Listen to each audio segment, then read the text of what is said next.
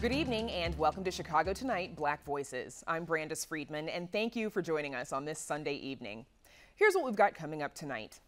If you haven't heard the message yet, lots of advocates want you to cast your ballot this election cycle. And black women are one of the most active voting blocs in the country. We'll talk about how they became a formidable force in elections. So in, in class, Miss Cochran was my teacher and the kids was laughing. Chicago's king of comedy, Bernie Mac, would have turned 63 this week. We'll hear the story behind his storytelling genius from a 2003 interview. For 48 years, the Chicago Reporter has investigated issues of race and poverty, but its abrupt hiatus announcement and dismissal of its editor and publisher has former staffers demanding answers. Oh my God, look at that. Had dinner yet? If not, You'll be hungry after this story. Meet a local food blogger raising money for black owned restaurants. But first, some of the top stories from this past week. Vice presidential hopeful Senator Kamala Harris made history, becoming the first black woman to stand on a vice presidential debate stage. She traded barbs with current Vice President Mike Pence over racial injustice, the president's tax returns, and the COVID 19 response. They still don't have a plan. Well, Joe Biden does. And our plan is about what we need to do around a national strategy for contact tracing, for testing, for administration of the vaccine. Mean, quite frankly, uh, when I look at their plan that talks about advancing testing, creating new PPE, developing a vaccine, um, it looks a little bit like plagiarism.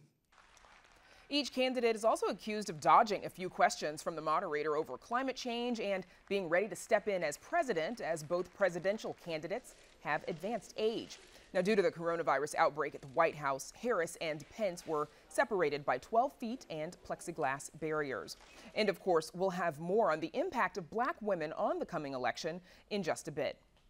Chase Bank says it's increasing mortgage lending in black and brown communities in Chicago by $600 million, a 60% increase. The bank says it's part of a nationwide effort committing an additional $30 billion over the next five years to expand affordable housing and homeownership, banking access, and workforce development. The bank acknowledges to WBEZ that its reporting, along with demonstrations and protests from activists, played a role in this commitment. Reports showed the bank sent roughly 80% of its home purchase lending dollars to white communities in Chicago and just 2% to black communities and 5% to Latino communities. Mental health services should be easier to access for some neighbors under a funding plan the city announced earlier this week. 32 community based organizations are receiving $8 million in annual grant funding to provide trauma informed mental health care in the neighborhoods with the highest need. The Chicago Department of Public Health says the majority of those organizations will expand services for children, teens, and young adults, and an additional $1.6 million will provide holistic health care services for people experiencing homelessness. And to hear more from two of the community based organizations providing mental health services, you can visit our website and for the latest news and information on any story, check out WTTW.com/news. Up next, how black women have become a formidable force in elections. Chicago Tonight, Black Voices, is made possible in part by Fifth Third Bank and by the support of these donors. At Third, we believe when diverse voices are heard and empowered, communities are made stronger, lives are made better, and the future holds greater promise for all. That's why we're proud to support Chicago Tonight Black Voices. Together, we can make a difference. Together, we can drive change. Though the 15th Amendment, ratified in 1870, secured the right to vote for black Americans, it would be nearly a century before all blacks could vote without intimidation. And though the 19th Amendment of 1920 gave women the right to vote, black women were again left disenfranchised. It wasn't until the Voting Rights Act of 1965 that the right to vote was secured for black men and women. Today, those women are considered the backbone of the Democratic Party, despite what advocates call a resurgence in voter suppression tactics. Joining us to talk about how, despite it all, black women continue to stroll to the polls are Felicia Davis, president and CEO of Chicago Foundation for Women, and author and activist Michelle Duster. She is also the great granddaughter of iconic journalist Ida B. Wells. Welcome, both of you, to Chicago Tonight, Black Voices. So, uh, Michelle, let's start with you, please. Why didn't the 19th Amendment sort of finish the job uh, for black women to vote? Wow. Um, well, shortly after um, 1920, when um, the 19th Amendment was signed or um, signed into law, um, immediately um, certain states decided to impose their own sort of states' rights policies. And those policies or rules basically disenfranchised um, predominantly um, Black communities. Um, so, you know, with like um, grandfather clauses, poll taxes, um, uh, literacy test, um, just a, a, variety of different sort of tricks, basically, that didn't make it seem like it was about being Black, but it was about, but but inherently, uh, it would in, it would impact uh, mostly Black people. And Felicia Davis, you know, if Joe Biden is elected, he will be the oldest president to ever take office. So that obviously makes his vice presidential pick uh, all the more important. Uh, what impact do you think it will have, or will it mean for Senator Kamala Harris to be on the ticket, particularly for black women and getting them to vote?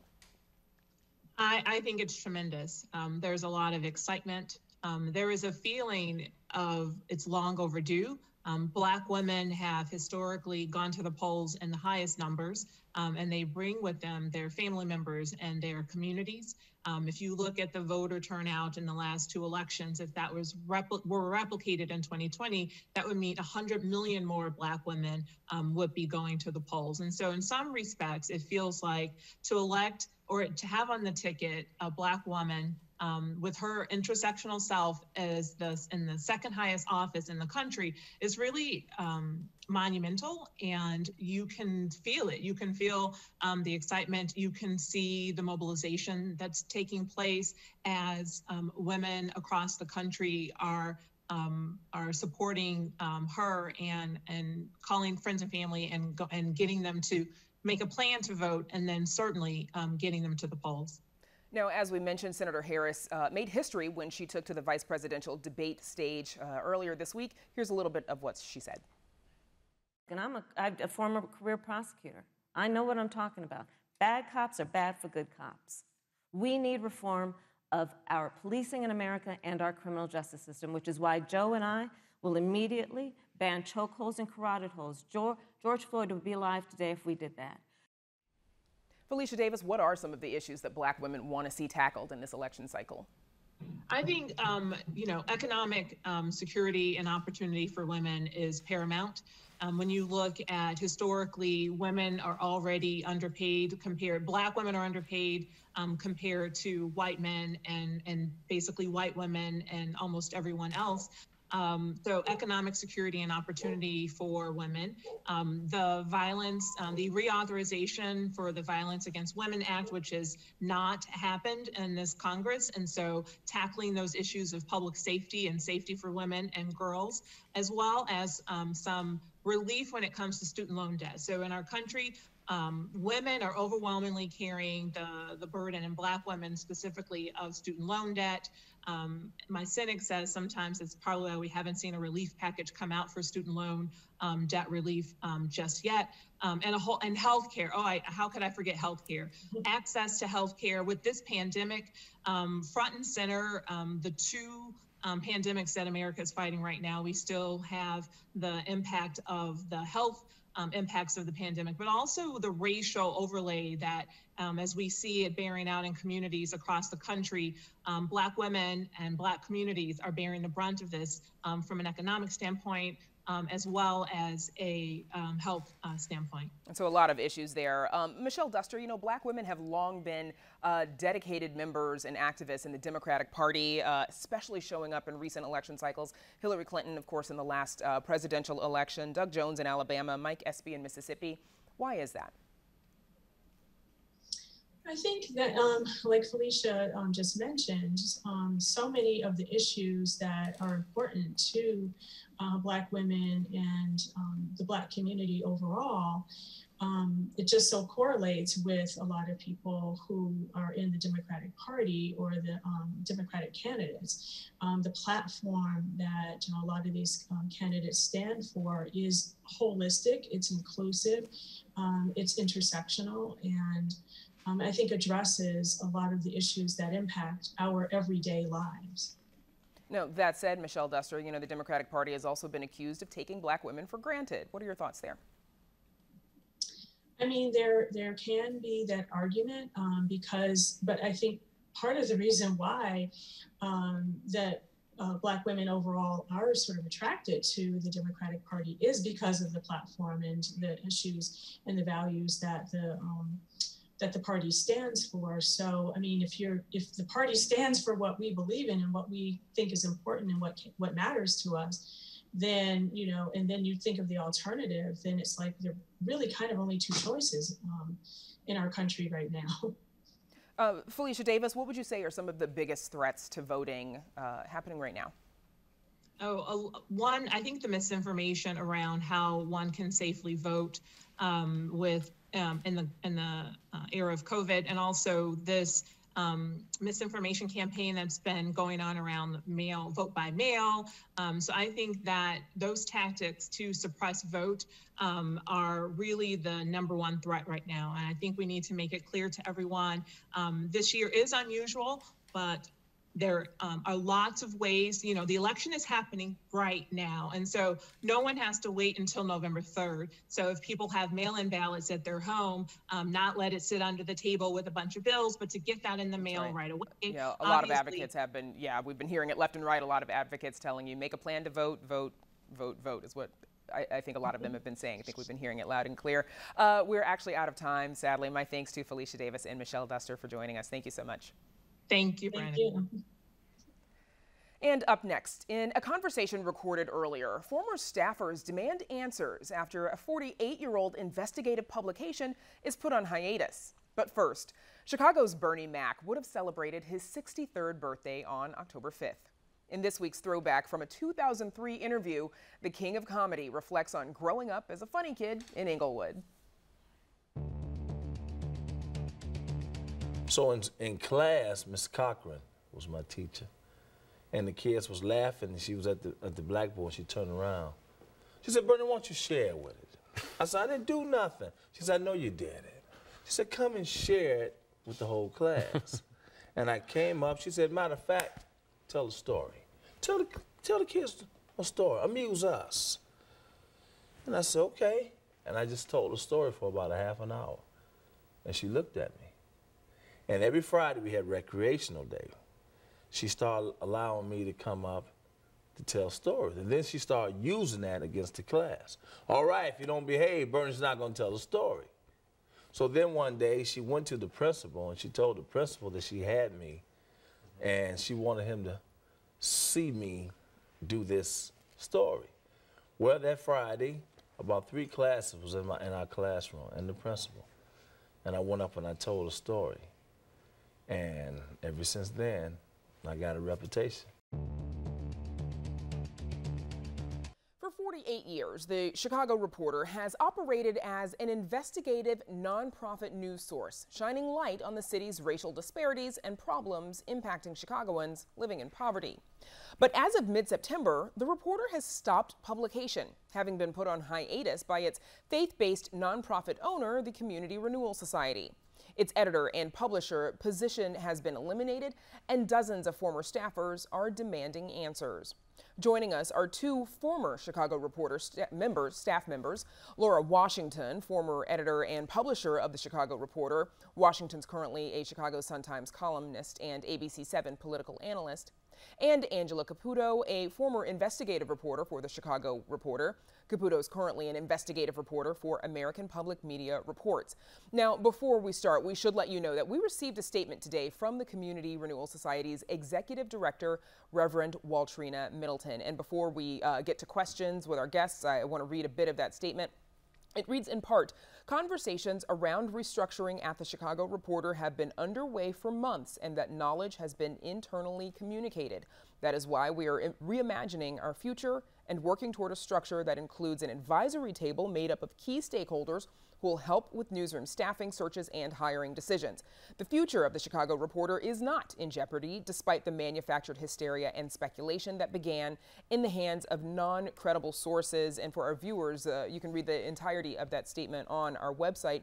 Uh, Laura Washington, though, let's start with you, please. What do you know about the Chicago Reporter's current hiatus? Well, I probably know a lot more just from hearing that statement, Brandis, than I knew earlier today. Uh, for over a week, we have been sending letters, uh, leaving messages. When I say we, I mean reporter alums, but also other people who are concerned in the community with the Community Renewal Society to get some answers because all we knew was that the news organization had been shut down and had been silenced. We're very concerned even now with this statement because it suggests that there's going to be a, as she says, a reimagining of the of the news organization that will take away editorial control or at least compromise it. Some kind of an advisory board, uh, uh, community renewal society staff would be in control of decision making, would be in control of hiring, would be in control of editorial content. And that, by definition, does, means there would no longer be a credible independent publication. Have you heard from the Community Renewal Society? Since you've been sending all these letters and making these contacts? Uh, we actually just this afternoon, uh, I received a, an email from Dr. Middleton, the, the, the CRS executive director, act, asking me if I'd be willing to meet, and I'm hoping to. Um, and I responded, and we're, and we're hoping to meet with a number of representatives from the reporter alumni to, to get some answers because these this statement and what we know so far raises more questions than answers. Angela Caputo, tell us a little bit more about the reporter's journalistic mission. Well, the reporter, you know, has been around before any of these nonprofit uh, outlets in Chicago, which are really increasingly important. And I think the reporter is as important as ever. But, you know, the reporter, for being such a small outlet, has really made huge changes for people in Chicago.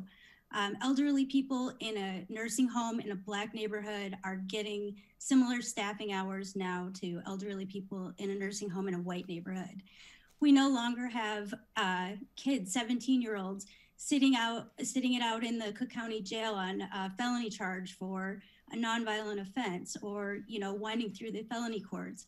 Kids are no longer just automatically bumped up on nonviolent offenses. Um, and you know, there's a landmark Justice Department settlement around the foreclosure crisis and all of the predatory lending that just decimated our neighborhoods.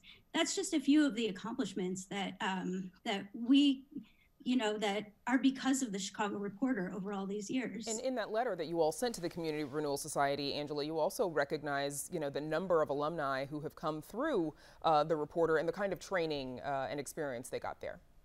Yeah, and you know, like there's a big conversation right now about diversity and inclusion in uh, newsrooms and in all sorts of industries. And the Chicago Reporter has been for nearly 50 years creating leaders, people of color and white people, journalists who've gone on to um, win Pulitzer Prizes, who are now leading some of the biggest news organizations in the country, and even our um, our local newsrooms here in Chicago.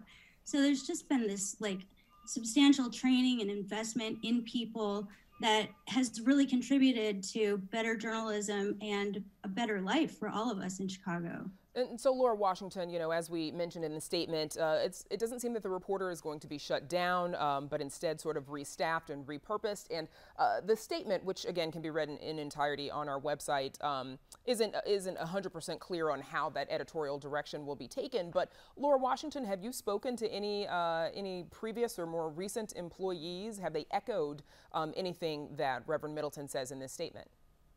Uh, the only thing we're hearing from is, is, as a matter of fact, we have a letter signed by well over 100 reporter alumni who are deeply concerned about just the mere fact that you would shut down this news organization, put it on hiatus with no notice, with no transparency, remove the editor and publisher. Right now, reporters without editorial direction, without editorial control. If, if it, it really undermines its credibility as we speak. How can a news organization, how can a publication publish and have an impact and have a voice if it if it really essentially doesn't exist. There's just so many questions that have been raised by this, and the lack of transparency, and the fact that uh, the Community Renewal Society has been so silent and so unresponsive to our concerns is very troubling. We need some transparency. We need to find out exactly what the plan is, and we want assurances that the that the the wall between the editorial and, and the business side, the business side being the Community Renewal Society, is not breached, and that the news organization will continue to be controlled and run by credible independent journalists. Okay, we'll have to leave it there. My thanks to Laura Washington and Angela Caputo. Thanks so much. Thanks for having us.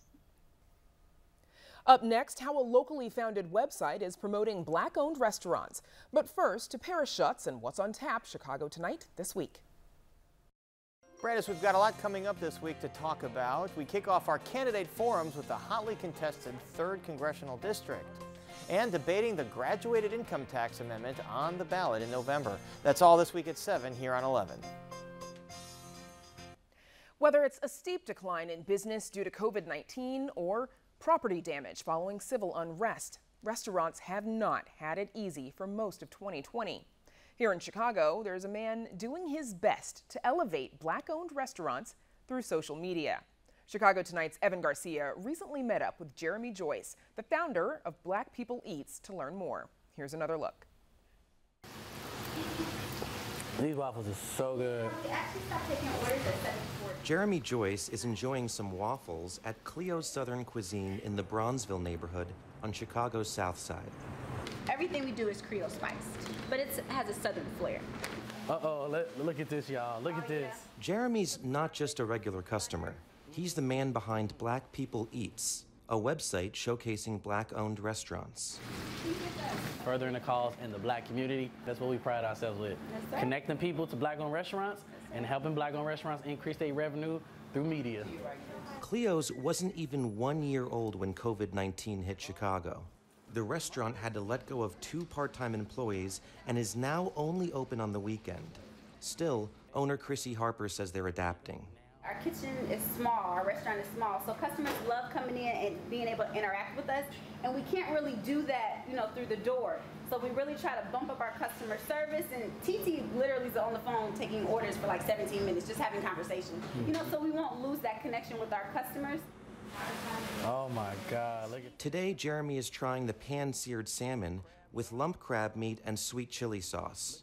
He was kind enough to share some with me. I get something special with that sauce. Mm. Oh my. That sauce with the rice, yeah. Now you understand, right? It makes sense now. Okay. People do not understand until they actually try mm. it because it's like, okay, yeah, everybody makes salmon. Okay, you no, can make. Good. well, it's also what you coat it in. Yeah. Great sauce. Mm-hmm. Really good. You like it? Now. Yeah, I like it. You know what's crazy? It what tastes think, better when you heat it. I texted her the next day. I said, yo, it's even better the next day. Because the sauce is somehow just sunk in. Cleo's is one of several restaurants benefiting from the Black owned Restaurant Relief Fund, a GoFundMe Jeremy started to help restaurants featured on his site. So we was able to raise $75,000. We were able to split the money evenly among 54 restaurants. And actually, the checks are in the mail and they're going out to black owned restaurants to help further their business. The president of the Illinois Restaurant Association has said Chicago restaurants have seen an average 80% loss in revenue during the COVID 19 pandemic.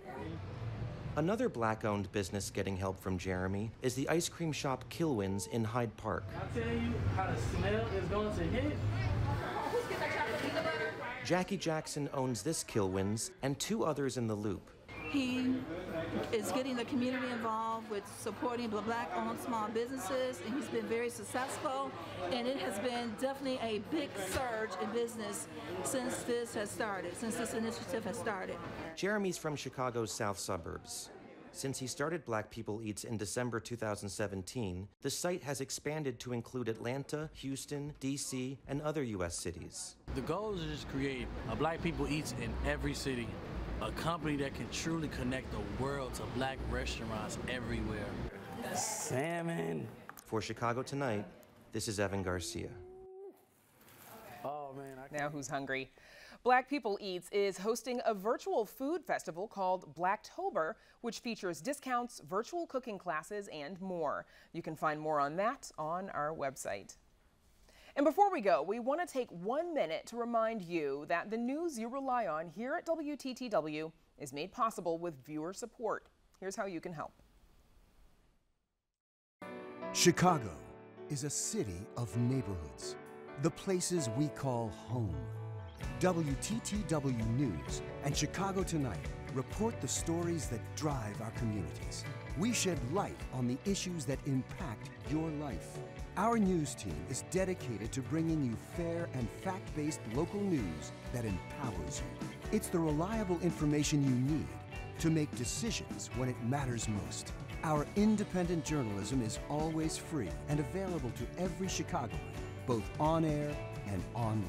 This essential community news service is only possible with your support. Please consider becoming a member of WTTW. It's quick and easy to join, and you can contribute at any level that's comfortable for you. All donations are welcome, and every dollar makes a difference. After joining, you can choose your thank you gift. Your generous support will help keep trusted, independent journalism on public television. Thank you for your support. And that's our show for this Sunday night. Join Paris Schutz and me tomorrow at 7 on Chicago Tonight. Now, for all of us here at Chicago Tonight Black Voices, I'm Brandis Friedman. Thank you for watching and have a good night.